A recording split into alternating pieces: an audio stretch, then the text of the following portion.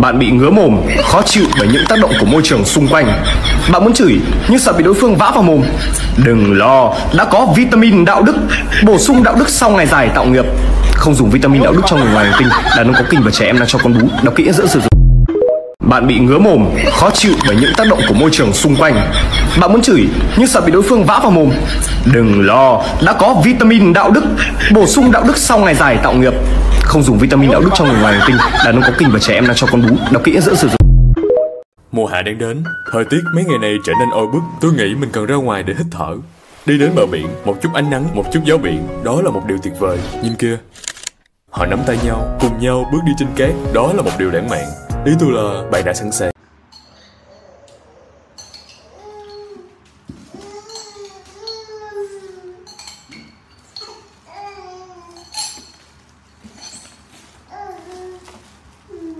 Em sẽ theo anh về Về làm dâu miền Tây Quên hết nỗi lo ta sống vui mỗi ngày.